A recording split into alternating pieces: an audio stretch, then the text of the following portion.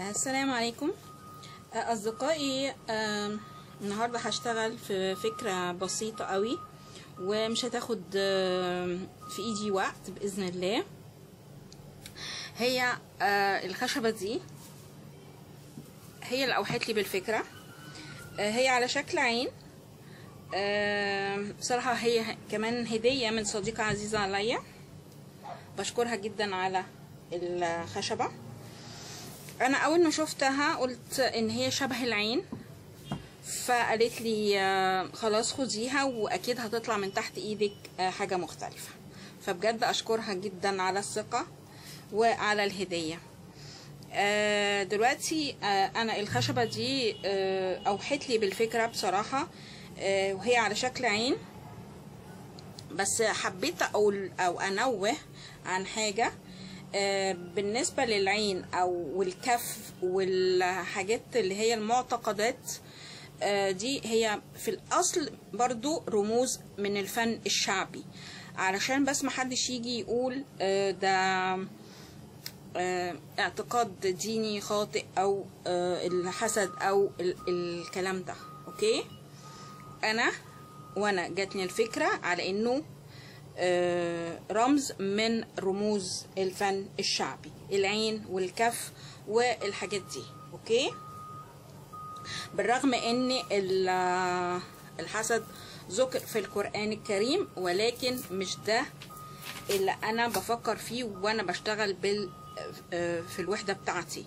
أنا بعمل عمل فني تمام؟ خلاص؟ وضحت أوكي كده ماشي. أبتدي أشتغل. اشتريت لها آه، الخرز ده. وكان عندي الكف ده في وسط ال شوية اكسسوارات قديمة. وبرضو من الحاجات في حاجات جديدة وحاجات قديمة. بصراحة أنا آه، جبتها لها مخصوص يعني ده لأ ده آه. ده آه، ده قديم من إكسسوار قديم. الحاجات دي آه، ده إكسسوار قديم برضو وده إكسسوارات أنا جبتها عشان أكمل بيها الفكرة اللي جت في دماغي okay؟ آه، هبتدي أشتغل طبعا ألون الأول الخشبة وبعدين أشتغل. آه، كل قطعة دلاية أنا علقتها في سلسلة ونهاية السلسلة في مسمار عشان هقول لكم هعمل بيه إيه بعد كده. مجهزاها آه، عشان تبقى سهلة آه، للعمل على طول. آه، أول حاجة أنا عايزة التأثير بتاع الخشب يكون ظاهر لي لأن دي خشب طبيعي فحابة قوي التأثير بتاعه يكون ظاهر. هعمل إيه؟ ادي شوية من الورنيش المائي يبقى أنا حطيت ورنيش مائي ليه ورنيش مائي الورنيش المائي أساسا آه أنا بدهن الخشب آه طبعا بيبقى شفاف. هو بيسد مسام وبيبقى شفاف وما بيدينيش أي لون أوكي؟ بس أنا عايزة أعمل لون بقى. عايزة أعمل لون خشب ثمرة الخشب تظهر آه منه. فهاخد آم، قليل من النسكافيه. هدوبه في ال شوية المعجو... اللي هو الورنيش. ليه نسكافيه؟ النسكافيه بيدوب بيدوب في أي سائل. غير القهوة. القهوة طبعا ما بتدوبش. القهوة بت بتسيب رواسب. أنا مش عايزة رواسب. أنا عايزة النسكافيه يدوب في ال في المعجون أو في قصدي في الورنيش بتاعي. أدوبه. هيديني لون خشبي. هيديني كل ما أزود النسكافيه هيزود هيغمق الدرجة بتاعتي. وفي نفس الوقت بيدوب. ببساطة جدا. كأننا بتدوبه في مية.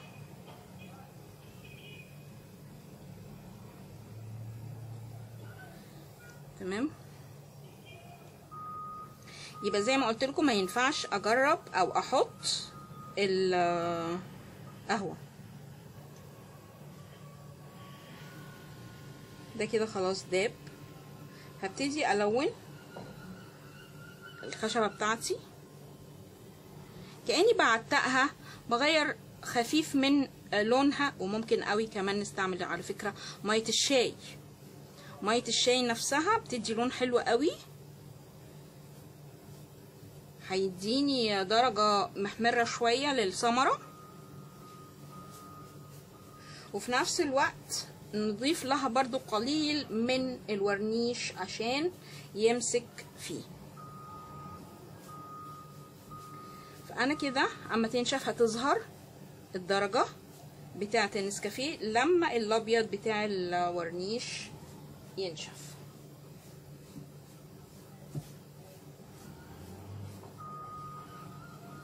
تمام؟ كده؟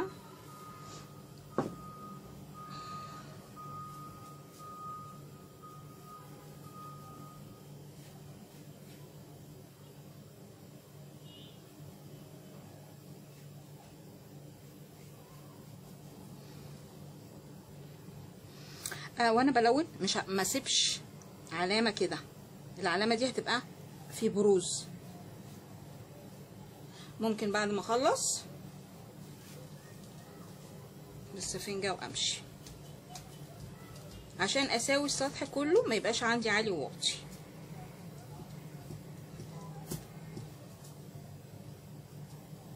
اغمق شوية وفي نفس الوقت الثمرة بتاعتي باينة.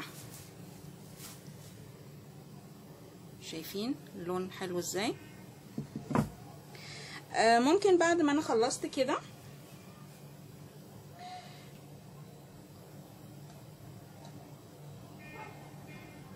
هنا مية ونقطة لون أزرق وشوية آه ورنيش برضو. هحاول امسح على ادي برضو إيه تاتش خفيف لون.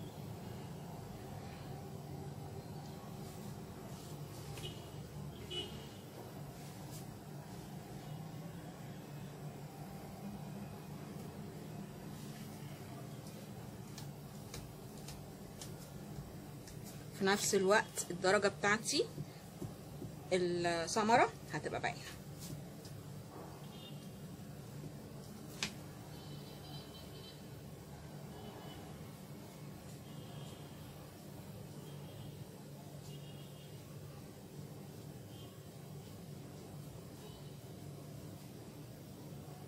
ممكن تحديد آه للعين.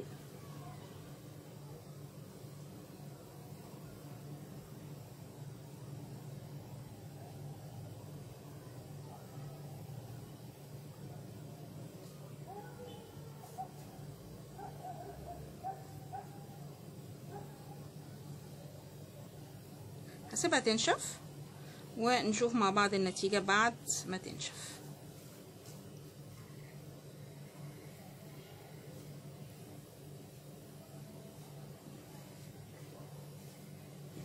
أوكي هسيبها تنشف بالشكل ده كده هحاول ان أنا اظبط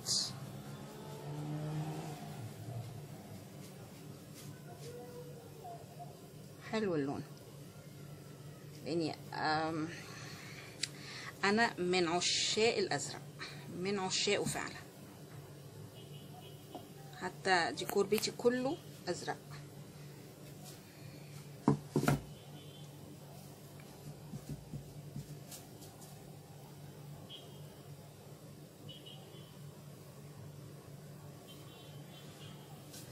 خلاص كده هنسيبها تنشف ونرجع لكم بعد ما تنشف تبان ال- النتيجة بتاعتنا. أوكي؟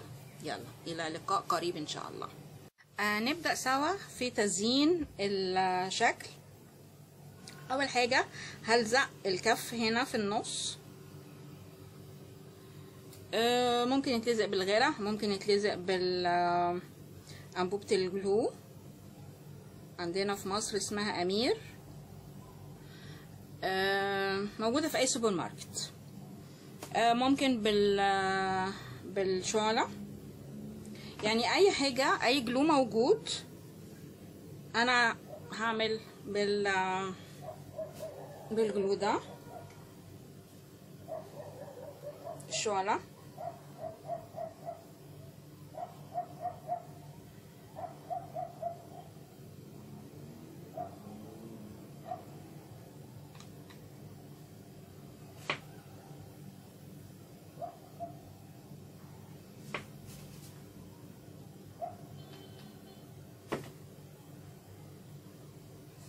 المفروض إن أنا أسيبه شوية كده وبعدين ألزق.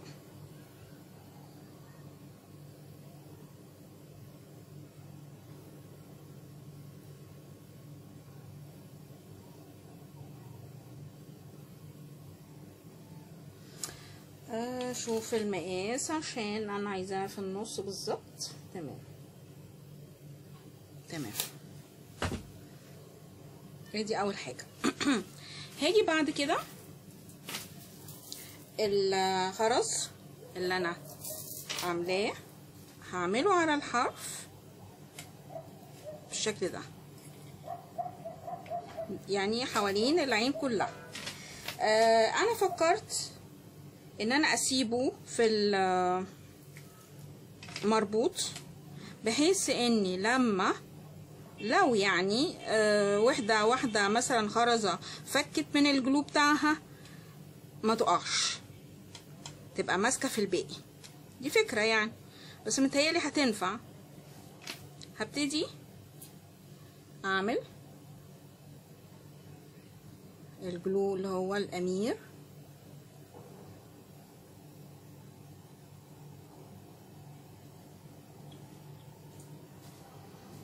وألزق. بسم الله الرحمن الرحيم.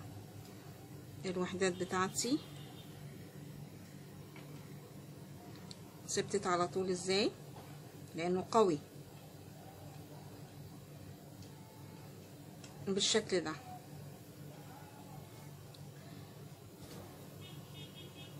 هخلص الوحدات كلها. وطبعا الأمير ده وإحنا بنشتغل بيه نراعي إنه ما يجيش على الإيد لأنه قوي جدا.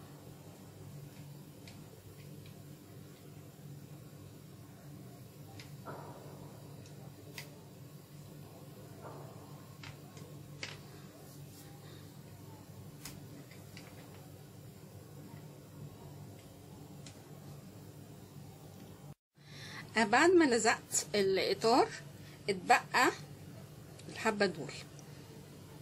فجربتهم كده عجبوني. عجبني الشكل. فهبدأ ألزقهم آه بالشكل ده كده.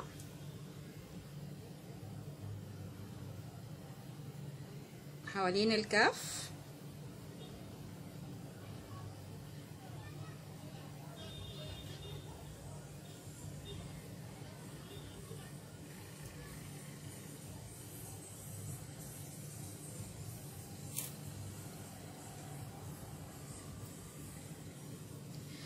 أه هلزق كله.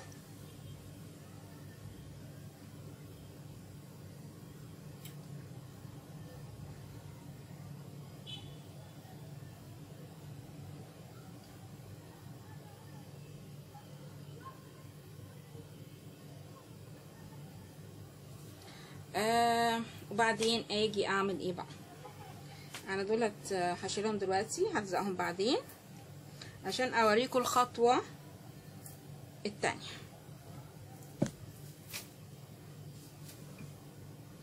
هاجي من تحت. علمت علامات عشان أعلق الوحدات اللي أنا عاملة لها سلاسل.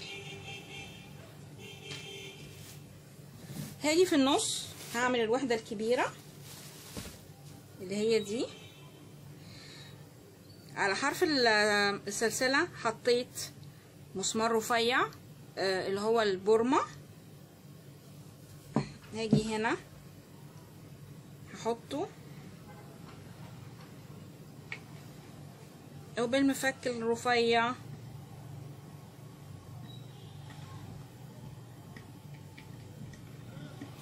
أبرم. آه، يمسك آه، في الخشب بالمسمار مش لزق.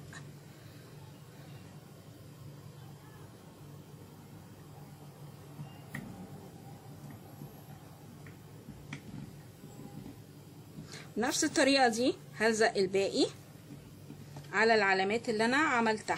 أهي كده كده هتكون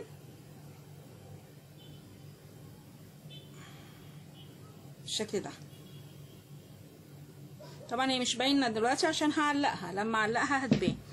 وعندي برضو سلسلة نفس السلاسل اللي أنا عاملة بيها الوحدات هعملها عليقه من فوق. برضو بنفس الفكرة. تيجي كده هنا وهنا بمسمار بورمة برضو وتبقى دي العليقة بتاعتنا. هخلص الفكرة كلها. طبعا ما أنا مش ها يعني إيه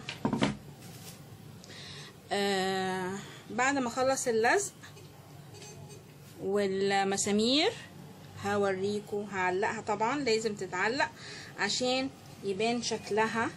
هنا هعمل إيه؟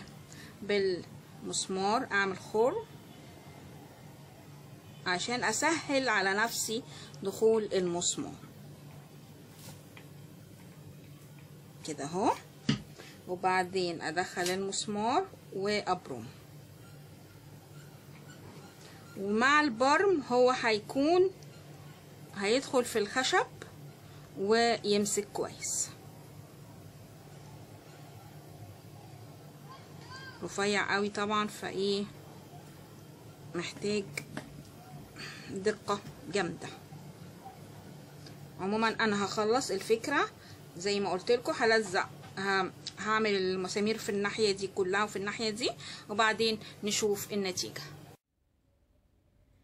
كده وصلت للشكل النهائي بعد ما علقت الدلايات ولزقت الخرز وعملت السلسلة من فوق علشان يتعلق منها. فهقرب نشوف مع بعض التفاصيل.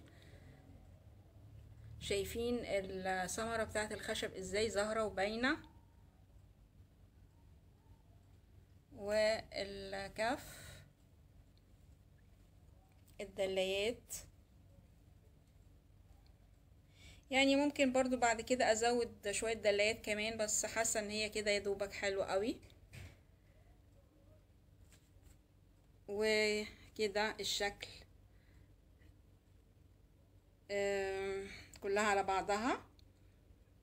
يا رب تعجبكم فكرة النهاردة وانتظروني فكرة جديدة بإذن الله وعمل جديد وفيديو جديد. يا رب أكون أفدتكم يعني ولو بشيء بسيط قوي في فيديو النهاردة. باي باي.